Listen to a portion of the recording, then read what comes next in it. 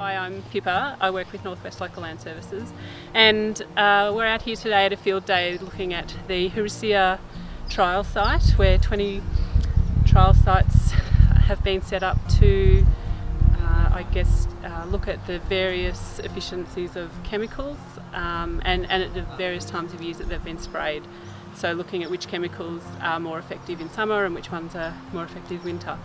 Uh, the trial came about due to interest from landholders and local government and consultants. Uh, cactus is a very big problem in the northern part of the Northwest Local Land Services area and so we're trying to engage the public best we can um, and inform them through this trial site. So we've had some really good results to date and I think we'll get some more really good results in the future.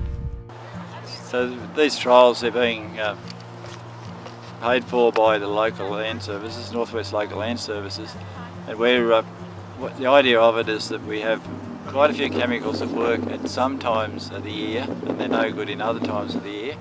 We're looking at the right sort of chemical to use for each month in the year so that we can deal with the Harrisia properly.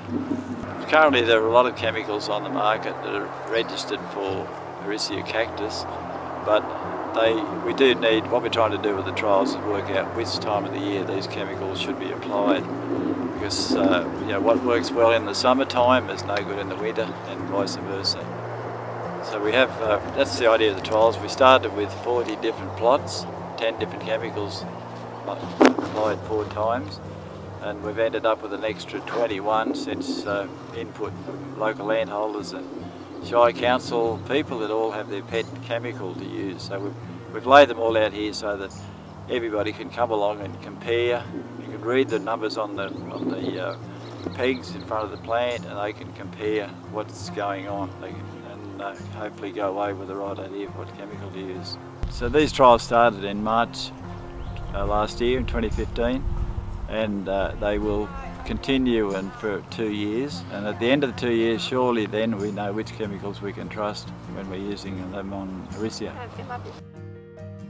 Well, I've been spraying Harrisia for about 10 years and used a variety of chemicals so I'm very interested in these trials that um, have been set up by the local land services and I think it's great. You know, it's here where farmers can come and have a look at it and see what's going on and compare the different chemicals and the different brews and their successes and being sprayed at different times because it's not always possible to spray Um, so uh, I'm really interested in this and the fact that there are sprays here that I can use in winter and also in times when they're not actively growing and that they might actually be more successful than using times when it is really actively growing.